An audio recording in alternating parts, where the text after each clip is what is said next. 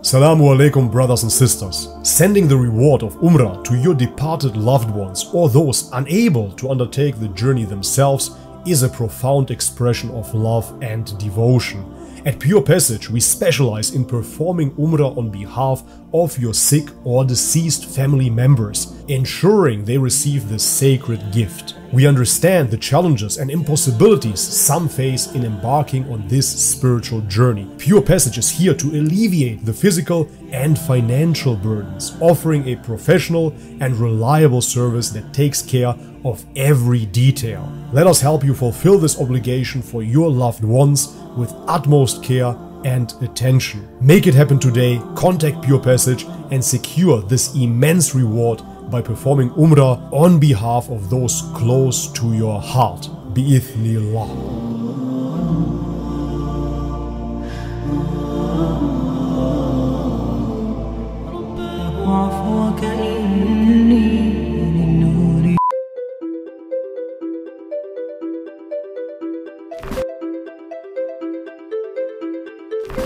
Oh. Alright guys, welcome back to the channel. If you're new, my name is Bobby. Guys, today we're gonna check out a debate. It is between two Christians and two Muslims. On the Christian side, we have David Wood and God Logic. On the Muslim side, we do have Muhammad and Shuaib. As far as I know, Muhammad and Shuaib are Quran only Muslims, but that's besides the point because the debate topic today will be Is Jesus the Son of God and therefore is Jesus a Muslim?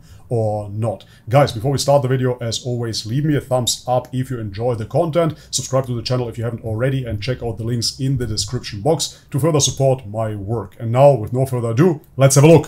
so you said like uh, you know for those who say that jesus is the son of god that they are uh, we're, we're, we're disbelievers for saying that but we're still muslims so my question is uh, is uh, according to the verse that you quoted that.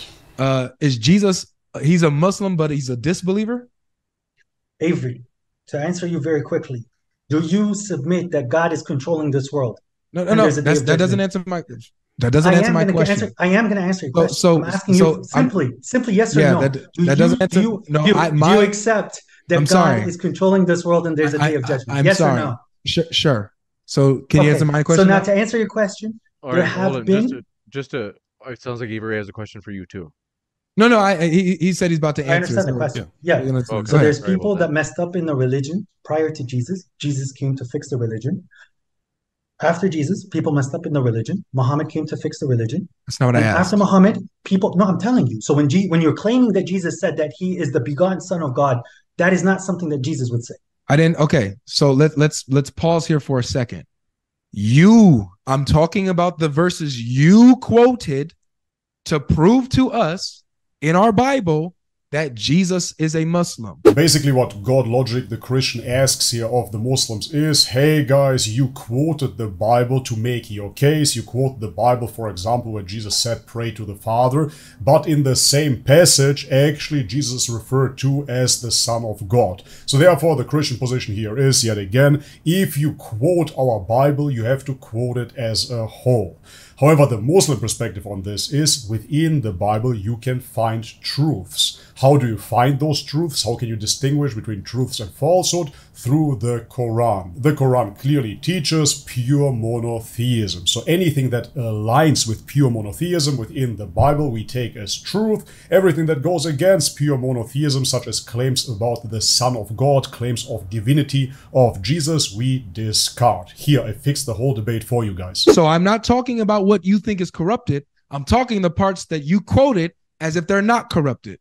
So then you you're quote talking to to Shuaib. I quoted only two verses, okay, so 530 I- and I- 2221. exactly, and you said out of you said out of your mouth. I heard you. It's recorded in your verses. You read that Jesus submits his will to the Father as he hears, he judges, and he submits his will to the Father. So Jesus in John five thirty, yes, because in John chapter five the says he's the Son of God and he submits to his Father. I'm gonna ask again. So according to the verses you quoted, Is 530. Jesus a Muslim but a disbeliever? Yet again, it's very, very simple. We do not take John as the ultimate authority. We do not take John as the ultimate truth. We simply say that there are passages within John that align with the Quran. Those passages we take. It is really that simple. We believe that the Quran is direct revelation from God.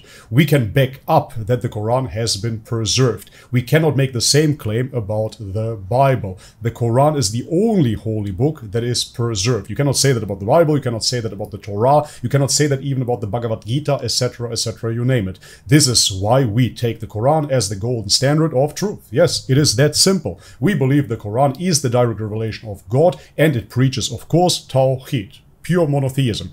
Therefore, if we find segments of pure monotheism within John, fantastic, we say this aligns with our worldview. 530.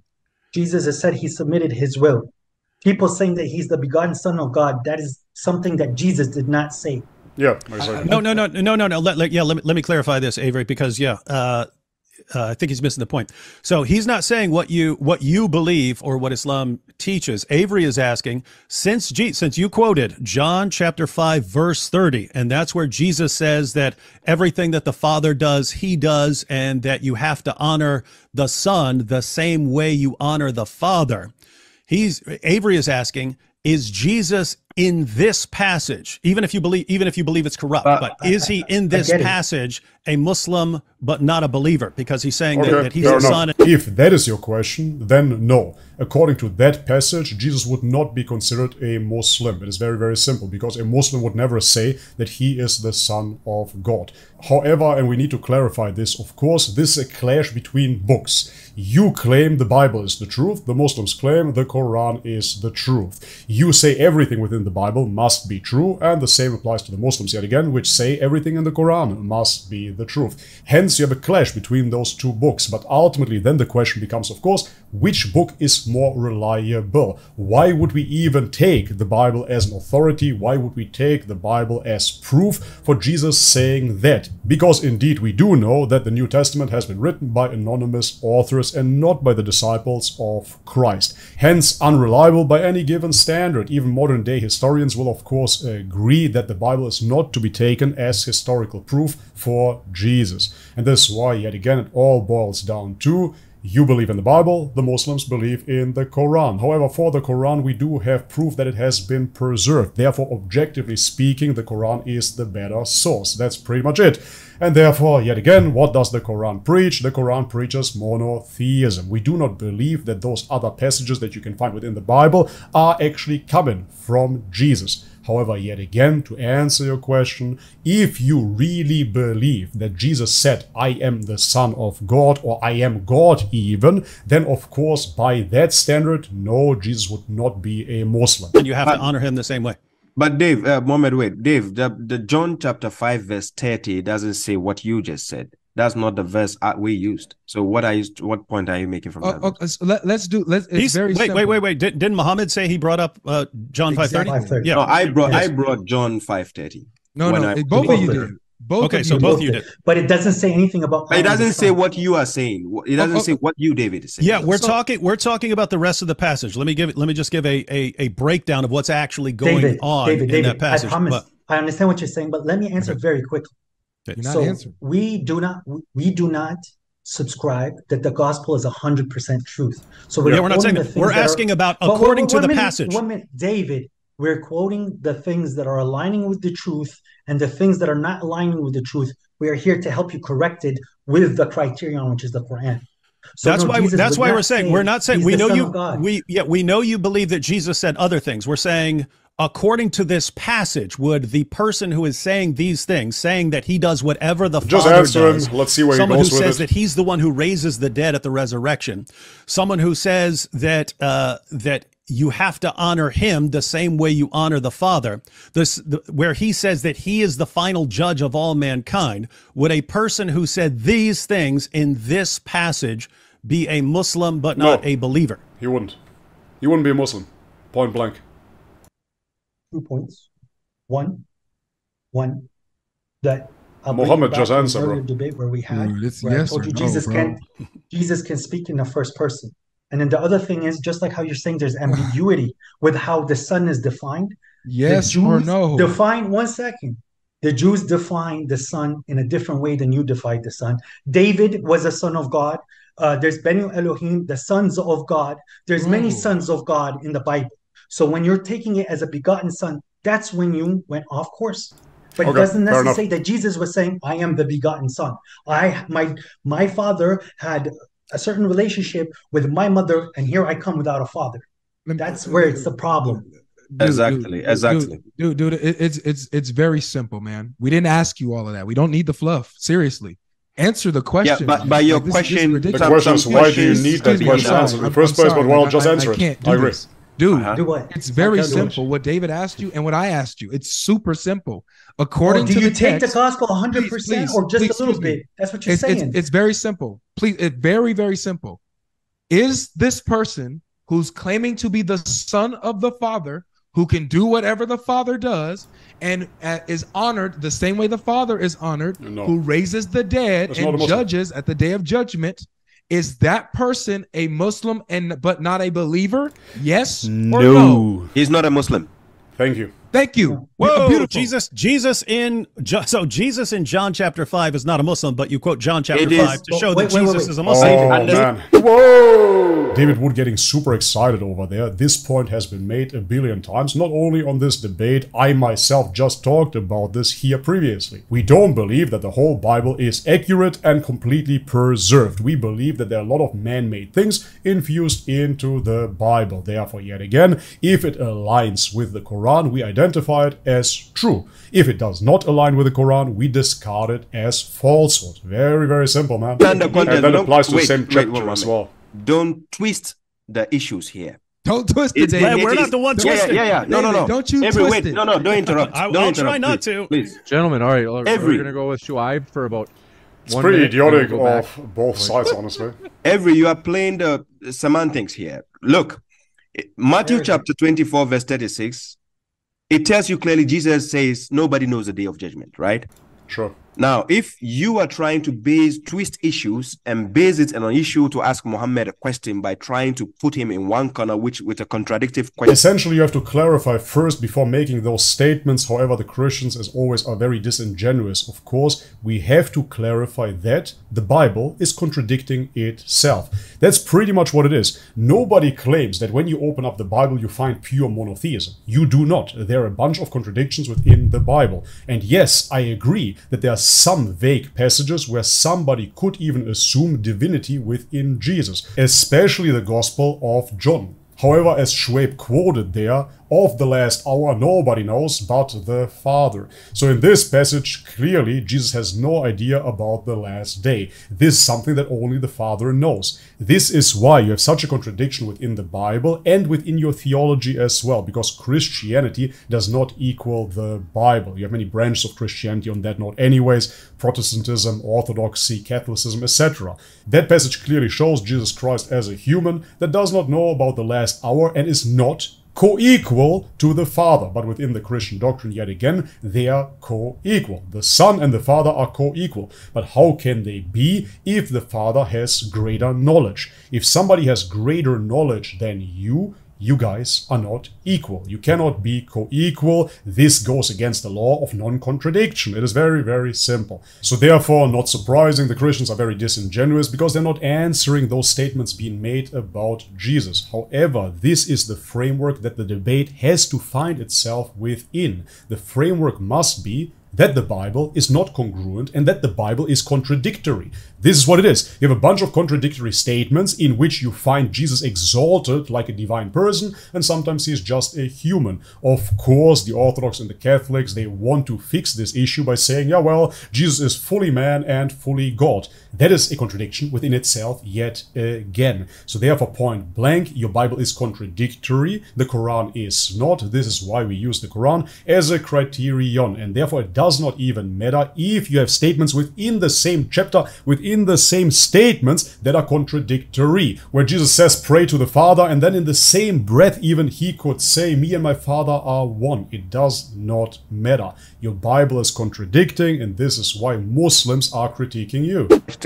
that is nonsensical. What I'm trying to let you know right now is if you go to John chapter 20, Don't verse 17, like Jesus says, I ascend to my father, your father, and to my God, your God.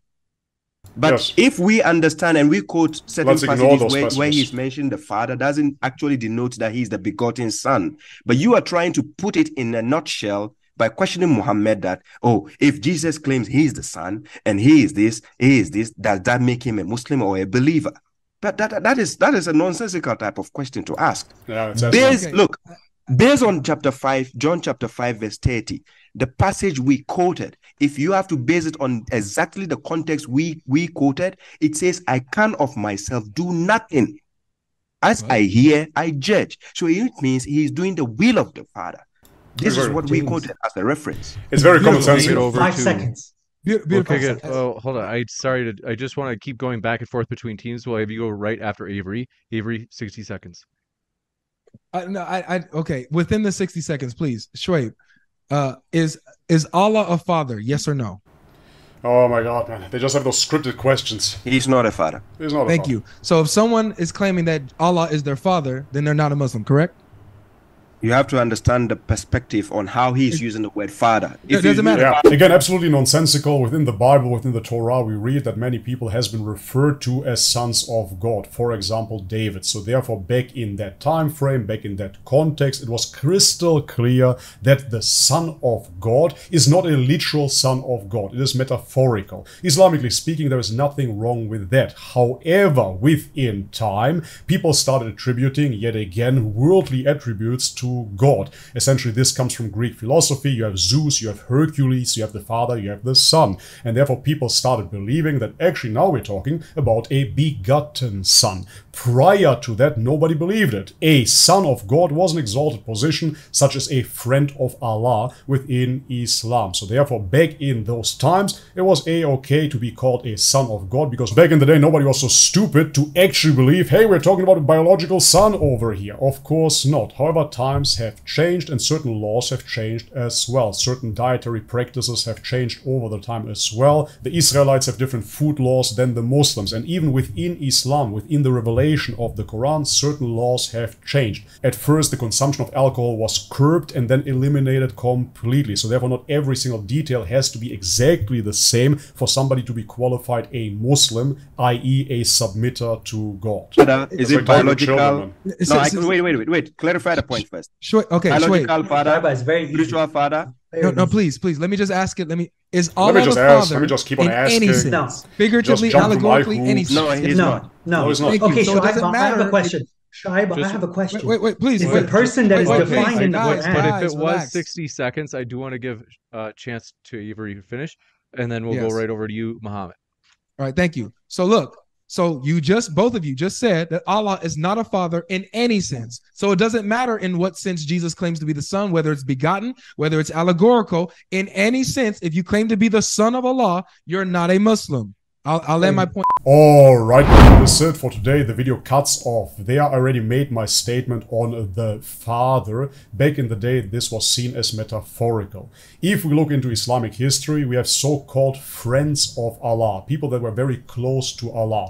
However, if you look into the 99 names of Allah, you won't find friend. So Allah does not have the name or the attribute friend. However, you could be a friend of Allah, metaphorically speaking. And therefore, yes, back in the day, you could have been a son of God. Still, even that statement does not make God a father. He doesn't have to share that name, he doesn't have to share that attribute for you to be considered within the worldly life as a son of God. Metaphorically speaking. But that's not what the Christians are interested in. And I use the term loosely, of course, whilst referring to David Wood, because he is not a true Christian. He's not a Bible scholar, he is not a person of knowledge or any authority within Christianity. He is simply an internet troll and an enemy of Islam. So much evidence has been presented to him. However, he twists and turns like a snake and presents his case always disingenuous. Moreover, they're asking pre-scripted questions, they're building up little hoops that you have to jump through.